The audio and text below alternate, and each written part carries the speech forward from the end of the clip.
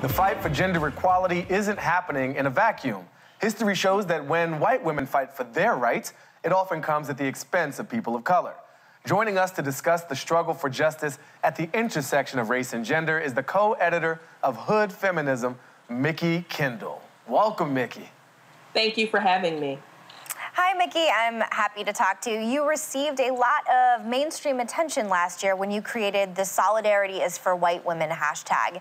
Um, here are an example of a few of your tweets. Hashtag Solidarity is for White Women when stats about sexual violence are manipulated to center white women, not Indian women, at the most risk. Solidarity is for white women when your concept of feminist history starts and ends with middle class white women, not the women of color doing the work. I was bringing up an, an age old problem that's long been within feminism, if not necessarily necessarily discussed. You know, we can go back to Ida B. Wells and her anti-lynching campaigns and how suffragettes wanted her to stop talking about lynching and focus on voting because they felt like that that topic was too divisive. Well, if one of us is in danger, one of us probably needs to talk about being in physical danger right now and our community being in danger right now and not just necessarily about voting. Which isn't to say that the women's right to vote wasn't important, but it couldn't just be, well, we'll focus on this issue first, and then later we'll get to keeping you alive. That doesn't make any sense. Mm-hmm. And it's a problem that has continued on to now, where you'll see posters, anti rape posters, and you'll see a white woman's face and a black man's hand over her mouth, for instance.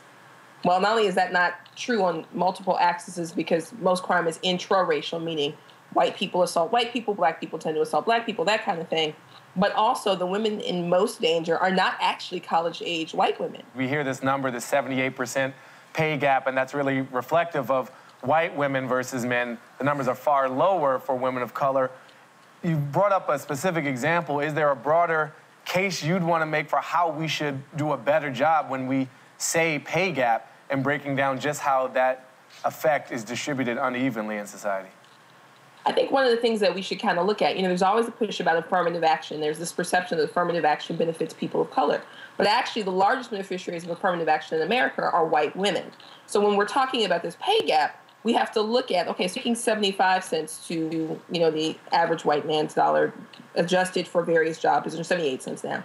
What is a black woman in that same position, same school skill experience making? Can she even get employed? what is a black man making? Because that's one of the things about the pay gap. It's a comparison to a white male dollar, not necessarily to a black man, a Latino man, a Native American man, an Asian man. Although I think Asian Asian American men are doing the best out of that little list. Um, and we need to start talking about the fact that well, it's a pay gap, but that pay gap breaks down across racial lines. The class is actually influenced heavily by race.